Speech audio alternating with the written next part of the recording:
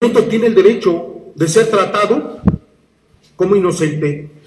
Lo establece el derecho internacional y nuestro bloque de constitucionalidad.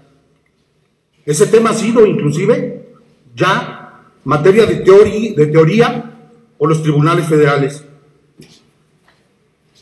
En el momento en que inicia este proceso a través de una denuncia de orden penal y posteriormente el, inicio de este proceso, se ha filtrado información a los medios en los cuales se ha contaminado el proceso. Yo les pregunto a ustedes, si ustedes no han tenido noticias de este caso por redes sociales,